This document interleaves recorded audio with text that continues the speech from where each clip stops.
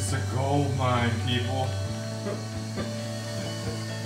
property manager does a bunch of houses around town. Not even a property manager, he just owns a business, buys houses. That's pretty good. It's fun.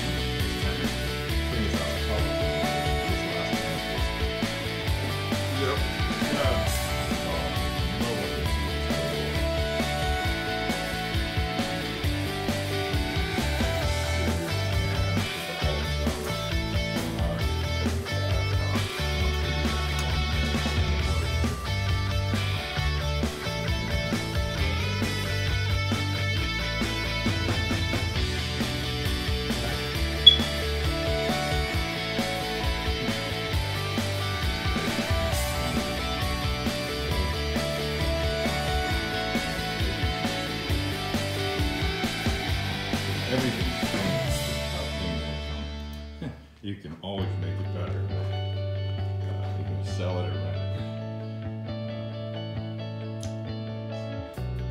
Well, I'm gonna combine this video with the first video a few months back. I Came in today.